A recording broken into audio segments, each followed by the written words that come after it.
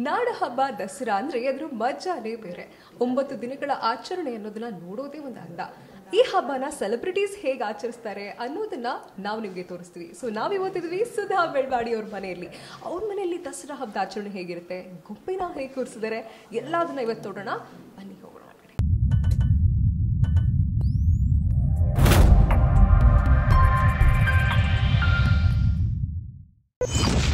Press the subscribe button to get subscribed and hit the bell icon to get notified every time we upload a new video.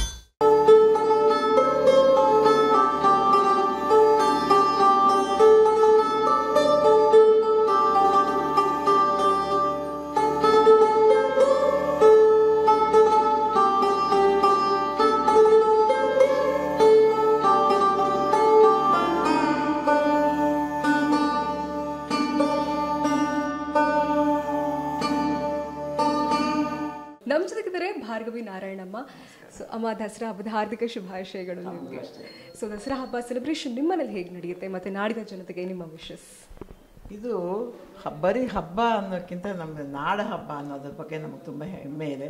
ಎಲ್ಲ ದೇಶದ ಎಲ್ಲ ಸ್ಟೇಟ್ಸಲ್ಲೂ ಮಾಡ್ತಾರೆ ಈ ಹಬ್ಬನ. ಕಲ್ಕತ್ತಾದಲ್ಲಿ ದುರ್ಗಾ ಪೂಜೆ ಅಂತಲೇ ಮಾಡ್ತಾರೆ. ಡೆಲ್ಲಿ ಆ ಕಡೆ ಉತ್ತರ ಪ್ರದೇಶದಲ್ಲಿ ಅದನ್ನು ರಾಮ ಲೀಲಾ ಗ್ರೌಂಡ್ಸಲ್ಲಿ ರಾವಣನ ರಾಮ ಕೊಂದದ ಬಗ್ಗೆ ಅವ್ರು ಆಚರಿಸ್ತಾರೆ.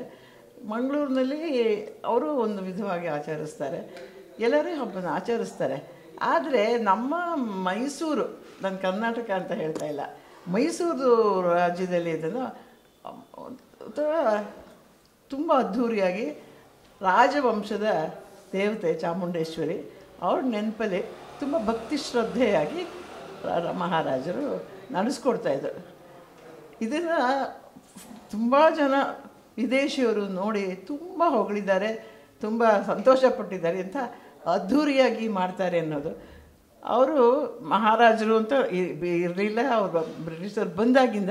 ಬಟ್ ನಾವು ಮೈಸೂರು ಜನತೆ ಮಹಾರಾಜರು ಅಂತಲೇ ಇದ್ದರು ಅವರೆಲ್ಲ ಹೊಗಳ್ತಾ ಇದ್ರು. ಬ್ರಿ- ಬ್ರಿಟಿಷ್ ಅಧಿಕಾರಿಗಳೆಲ್ಲ, ಇದು ರಾಮರಾಜ್ಯ ಅಂತ ಏನು ಹೇಳ್ತಾರೆ, ಆ ಥರ ಅಂತ ಹೇಳ್ತಾ ಇದ್ದರು ಇದು. ಇದು ಮುನ್, ಶುರುವಾಗಿದ್ದು ವಿಜಯನಗರ ಸಾಮ್ರಾಜ್ಯದಲ್ಲಿ ಹಂಪಿಲಿ ಆಚರಿಸ್ತಾ ಇದ್ದದ್ದು. ಅದು ಮಹಾನವಮಿ ಗುಡ್ಡ ಅಂತ ಇತ್ತಲ್ಲ ಅದ್ರ ಮೇಲೆ ಇದು ಮಾಡ್ತಾಯಿದ್ರು ಇದಕ್ಕೆ ಇಷ್ಟೊಂದು ಪ್ರಾಶಸ್ತ್ಯ ಇರಲಿಲ್ಲ. ವಿಜಯನಗರದ ಪತನ ಆದ ಮೇಲೆ ಇದನ್ನು ನಮ್ಮ ಕಂಠೀರವನ ನರಸರಾಜ ಒಡೆಯರು ಇದನ್ನು ತೊಗೊಂಬಂದು ನಮ್ಮ ನಮ್ಮ ರಾಜಧಾನಿಯನ್ನು ಇದರಲ್ಲಿ ಶ್ರೀರಂಗಪಟ್ಟಣದಲ್ಲಿಟ್ಟು ಅಲ್ಲಿ ಮಾಡ್ತಾಯಿದ್ರು ಅಲ್ಲಿ ಹೇಗೆ ರತ್ನ ಸಂ, ಸಿಂಹಾಸನ ವಿಜಯನಗರದಿಂದ ತೊಗೊಂಬಂದರು ಅದೇ ಥರ ಸಂಪ್ರದಾಯಗಳು, ಪದ್ಧತಿಗಳು ಎಲ್ಲನೂ ತೊಗೊಂಬಂದರು ಆಮೇಲೆ ಇದನ್ನು ಯಾವಾಗ ಇದು ಮೈಸೂರು ದೊರೆಗಳು ಮೈಸೂರನ್ನ ರಾಜಧಾನಿ ಮಾಡಿಕೊಂಡ್ರು. ತುಂಬ ಅದ್ಧೂರಿ ಅಂದರೆ ಅದು ಮಾಡ್ತಾಯಿದ್ರು ಇದು ಮಹಿಷಾಸುರ ಅಂತ ಬಂದದಕ್ಕೆ ಅದಕ್ಕೊಂದು ಕಥೆ ಇದೆ. ಏನಪ್ಪ ಅಂತ ಹೇಳಿದ್ರೆ, ರಂಭಾಸುರ ಅನ್ನೋ ರಾಕ್ಷಸ ತಪಸ್ ಮಾಡಿದಾಗ ಯಥಾ ಪ್ರಕಾರ ಇಂದ್ರ, ಆ, ಇದನ್ನು ಇಂದ್ರ ಪದವಿ ಎಲ್ಲಿ ಕೇಳ್ಬಿಡ್ತಾನೋ ಅನ್ನೋ ಗಾಬರಿಗೆ ಎಲ್ಲರಿಗೂ ವ್ರತ ವ್ರತಭಂಗ ಮಾಡಿದಾಗ ಇವ್ರಿಗೂ ಮಾಡೋಕ್ಕೆ ನೋಡ್ತಾನೆ, ಏನು ಮಾಡ್ತಾನೆ, ಅಲ್ಲಿ ಎಮ್ಮೆಗಳು ತುಂಬ ಮೇಯ್ತಾ ಇರುತ್ತೆ. ಒಂದು ಎಮ್ಮೆನ ಸುಂದರ ಸ್ತ್ರೀ ರೂಪ ಮಾಡಿಬಿಟ್ಟು ರಂಭಾಸದ ಮುಂದೆ ಬಿಡ್ತಾನೆ. ಅವನು ತ, ಅವನು ವ್ರತ ಭಂಗ ಆಗಿ ಮದುವೆ ಮಾಡ್ಕೊಳ್ತಾನೆ. ಮದುವೆ ಮಾಡಿದ ಅವಳು ತಕ್ಕ ಆಮೇಲೆ ಅವ್ರು ಯಥಾಪ್ರಕ ತನ್ನ ಒರಿಜಿನಲ್ ರೂಪಕ್ಕೆ ಕೊಟ್ಟೋಗ್ತಾಳೆ ಅವಳು ಹುಟ್ಟಿದ ಮಗ ಅಂದ್ಬಿಟ್ಟು ಮಹಿಷಾಸುರ ಮಹಿಷಾಸುರ ಅಂತ ಅವನಿಗೆ ಹೆಸರು ಬಂತು. ಅವನು ತುಂಬ ಉಪ್ಪುಟಾಳ ಕೊಡ್ತಾಯಿದ್ದ ಅಥವಾ ರಾಜ್ಯದಲ್ಲಿ ಏನು ಮಾಡೋಕ್ಕೂ ತೋಚಿದಿಲ್ಲ ಅವನು ಕೂಡ ತಪಸ್ ಮಾಡ್ತಾನೆ, ಎಲ್ಲ ಅರ ಹಸುರದ ಹಾಗೆ. ಅವಾಗ ಮಾಡಿದ್ರೆ ಕೇಳ್ಕೊಳ್ತಾನೆ, ನನಗೆ ಯಾವುದಿಂದನೂ ಸಾವಬೇಡ ಗಂಡಸರು, ಹೆಂಗಸರು, ಅಂತ ಅಯ್ಯೋದ ಇಂಥ ಅಯ್ಯೋದ ಯಾರು, ಹೆಂಗಸರು ಕೇಳೋದು ಮಾತ್ಬಿಡ್ತಾನೆ ಯಾವ ರಾಜ, ಯಾವ ಇದು, ಯಾವ ಆಯುಧ, ಯಾವುದಾದ್ರು ನಂಗೆ ಸಾವಬೇಡ ಅಂತ ಕೇಳ್ಕೊಂಡು. ಆವಾಗ ಅವ್ರು ಗುರು ಶುಕ್ರಾಚಾರ್ಯರು ಕೇಳ್ತಾರೆ, ನೀನು ಹೆಂಗಸರಿಂದ ಸಾವಬೇಡ ಅಂತ, ಯಾಕೆ ಕೇಳಿಲ್ಲ ಅಂತ. ಅಯ್ಯೋ, ಹೆಂಗಸರಿಗೆ ಏನು ಅಯ್ಯ ಗಂಡಸರಿಗೆ ಆಗ್ತಾಯಿಲ್ಲ ಹೆಂಗಸ್ರು ಏನು ಕೊಲ್ತಾರೆ ಅಂತ. ಒಂಥರ ಸಡ್ಯಾಗಿ ಹೇಳಿರ್ತಾನೆ. ಆಮೇಲೆ ಉಪಕಾರ ಜಾಸ್ತಿ ಆಯಿತು ಅಂತ ಹೇಳಿ, ನಾನು ಬೇಡ್ಕೊಂಡಾಗ ದೇವತೆಗಳೆಲ್ಲ, ಸರಿ, ಇದು ಹೇ, ಸದ್ಯ ದೇವ ದೈದಿಂದ ಹೆಂಗಸರು ಅಂತ ಹೇಳಿಲ್ಲ, ಒಂದು ಹೆಂಗಸನ್ನು ನಾವು ಕೇಳೋಣ, ದೇವತೆಗಳನ್ನ ಅಂತ.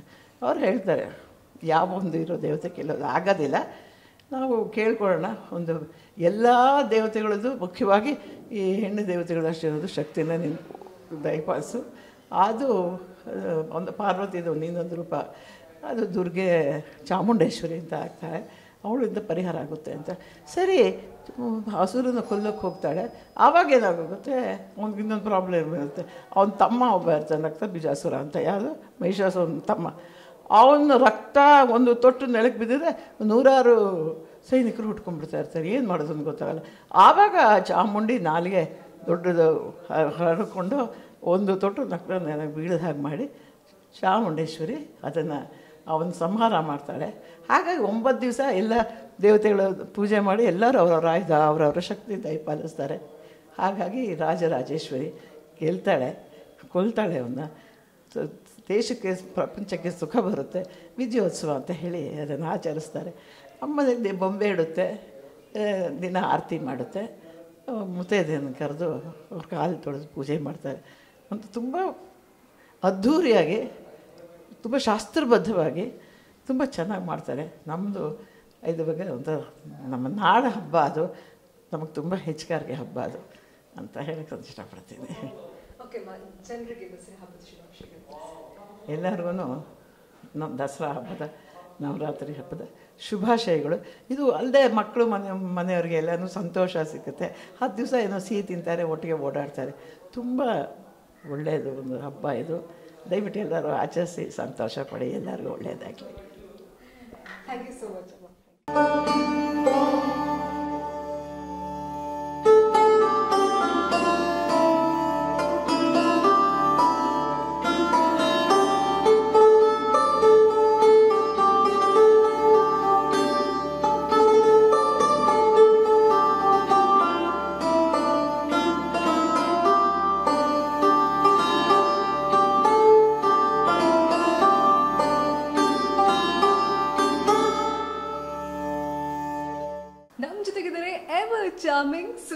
ಅವರು ನಮ್ಮ ಕಾರ್ಯಕ್ರಮಕ್ಕೆ ಸ್ವಾಗತ. ದಸರಾ ಹಬ್ಬದ ಹಾರ್ದಿಕ ಶುಭಾಶಯಗಳು ನಮಗೆ. ಆ್ಯಂಡ್ ನೀವು ಹೇಳಿ ದಸರಾ ಹಬ್ಬದ ಸೆಲೆಬ್ರೇಷನ್ ಹೇಗೆ ನಡೆಯುತ್ತೆ? ಜನರಿಗೆ ನಿಮ್ಮ ಪ್ರೀತಿಯ ವಿಶಸ್ ಆ್ಯಕ್ಚುಲಿ ನಮ್ಮ ಅಮ್ಮ ಮನೆಯಲ್ಲೇ ಹಬ್ಬ ಮಾಡೋದು. ಅದಕ್ಕೆ ಇಲ್ಲಿ ಬಂದೆ ನಾನು. ಮುಂಚೆಯಿಂದ ನಾನು ಕೆಲಸಕ್ಕೆ ಹೋಗ್ತಿದ್ದೆ. ಹಾಗಾಗಿ ಬೊಂಬೆ ಕೂಡಿಸೋ ಅಷ್ಟು ಟೈಮ್ ಇರಲಿಲ್ಲ. ಮತ್ತು ಪ್ರಾಬ್ಲಿ ನನಗೆ ಆ ಒಂದು ಎಫರ್ಟ್ ಹಾಕೋಕ್ಕೂ ಒಂದು ಮನಸ್ಸಿರ್ಲಿಲ್ವೇನೋ ಆಗ. ಬಟ್ ಈಗ ಮಾಡಬೇಕಿತ್ತೇನೋ ಅನಿಸ್ತಾ ಇದೆ ಸೊ ಪ್ರತಿ ಹಬ್ಬಕ್ಕೂ ಈ ದುರ್ಗಾಷ್ಟಮಿಗೆ ನಮ್ಮ ನನ್ನ ತಮ್ಮನ ಹೆಂಡತಿ ಪುಷ್ಪ ಅವಳು ಕರೀತಾಳೆ ಇಲ್ಲಿ ನಮ್ಮನ್ನ ಕರೆದು ಪಾದ ಪೂಜೆ ಮಾಡಿ, ಹೂಳ್ಯ ಮಾಡಿ, ನಮಗೆಲ್ಲ ಔತ್ನ ಬಡಿಸಿ ಎಲ್ಲ ಮಾಡ್ತಾರೆ. ಮತ್ತು ಪ್ರತ್ಯೇಕವಾಗಿ ನಿನ್ನೆ ಇಲ್ಲಿ ಸಂಗೀತ ಕಾರ್ಯಕ್ರಮ ಆಯಿತು. ಅವ್ರ ನನ್ನ ತಮ್ಮನ ಮಕ್ಕಳು ಹಾಡಿದ್ರು ತುಂಬ ಚೆನ್ನಾಗಿ ಸಂಗೀತ ಹಾಡ್ತಾರೆ.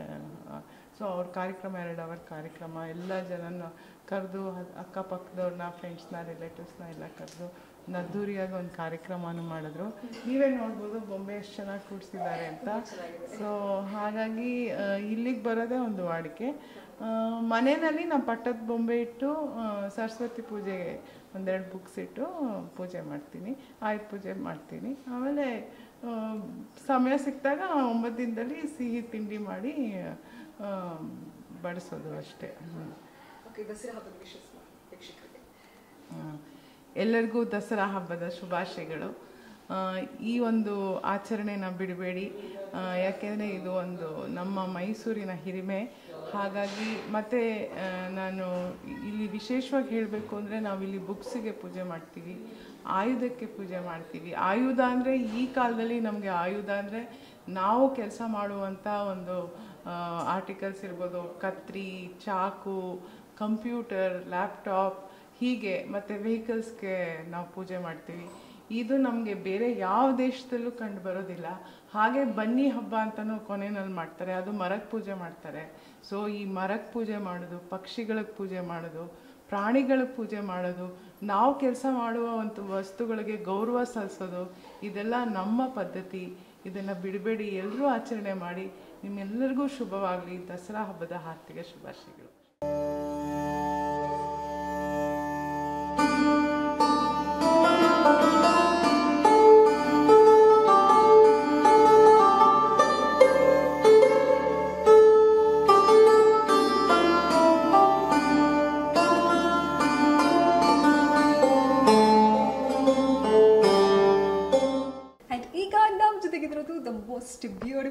ನಮಿತಾ ಹೊರ್ನಾಡ್ ಈ ಕಾರ್ಯಕ್ರಮಕ್ಕೆ ಸ್ವಾಗತ. ಆ್ಯಂಡ್ ದಸರಾ ಹಬ್ಬದ ಹಾರ್ದಿಕ ಶುಭಾಶಯಗಳು ನಿಮಗೆ. ಸೊ ಹೇಗಿರುತ್ತೆ ಮನೇಲಿ ಸೆಲೆಬ್ರೇಷನ್ ಆ್ಯಂಡ್ ಅಫ್ಕೋರ್ಸ್ ಕಲಾವಿದರ ಕುಟುಂಬ ನಿಮ್ಮದು ಸೊ ಆಚರಣೆಗೆ ಪ್ರಾಮುಖ್ಯತೆ ಕೊಡ್ತೀರಾ? ಸೊ ಆಚರಣೆ ಹೇಗಿರುತ್ತೆ? ಆ್ಯಂಡ್ ವೀಕ್ಷಕರಿಗೆ ನಿಮ್ಮ ವಿಶಸ್ ಈಗ ತಾನೇ ನಮ್ಮ ಅಮ್ಮ ನಮ್ಮ ಅಜ್ಜಿ ಮಾತಾಡೋದು ಕೇಳಿಸ್ಕೊಂಡ್ವಿ. ಅವ್ರ ಮುಂದೆ ನಂಗೆ ಹಬ್ಬದ ಬಗ್ಗೆ ವಿಶೇಷತೆ ಅಥವಾ ಅದ್ರ ಬಗ್ಗೆ ಇನ್ಫಾರ್ಮೇಷನ್ ನಿಮ್ಗೇನು ಕೊಡೋಕ್ಕೆ ಸಾಧ್ಯ ಇಲ್ಲ.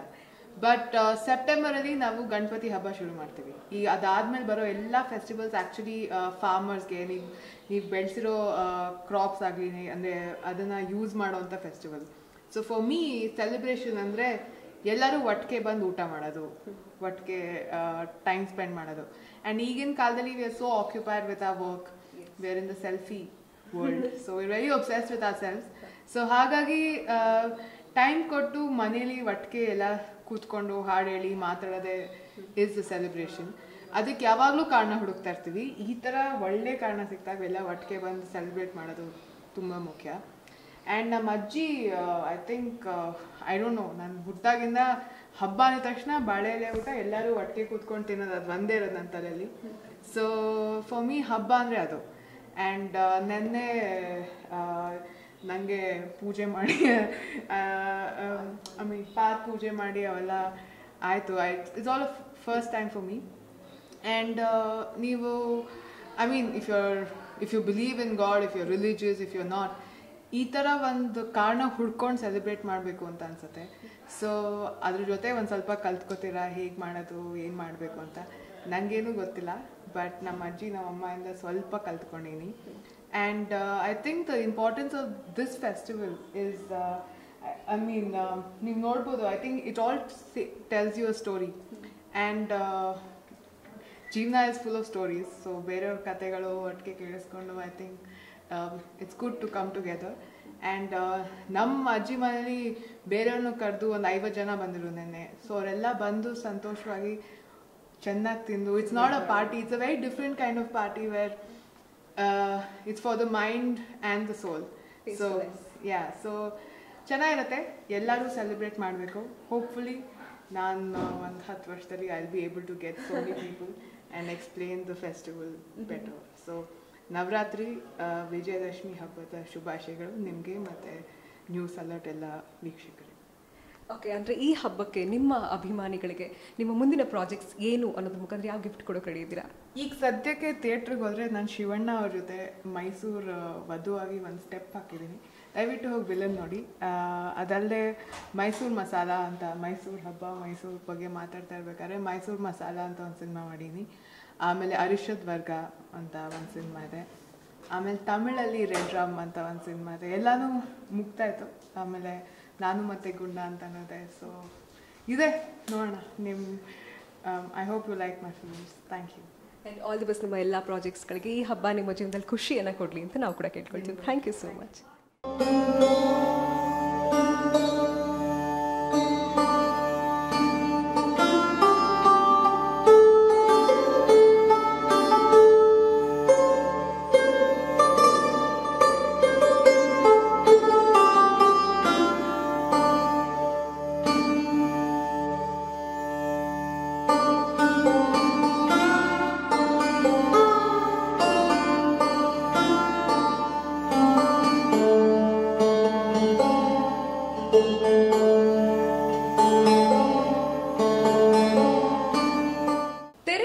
ಬಣ್ಣ ಹಚ್ಚಿ ಸಿರಿಯ ರಸಿಕರಿಗೆ ಹಬ್ಬ ನೀಡೋ ಈ ಕುಟುಂಬ ತೆರೆ ಹಿಂದೆ ಹೇಗೆ ದಸರಾ ಹಬ್ಬನ ಆಚರಿಸ್ತಾ ಇದೆ ಅನ್ನೋದು ನೀವೆಲ್ಲರೂ ನೋಡಿದಿರಲ್ಲ. ನೀವು ಕೂಡ ದಸರಾ ಹಬ್ಬನ ಆಚರಿಸಿ ಜೀವನದಲ್ಲಿ ಖುಷಿ ಖುಷಿಯಾಗಿ ನೆಮ್ಮದಿಯಾಗಿ ಇರಲಿ ಅನ್ನೋದೇ ನಮ್ಮ ಆಶಯ.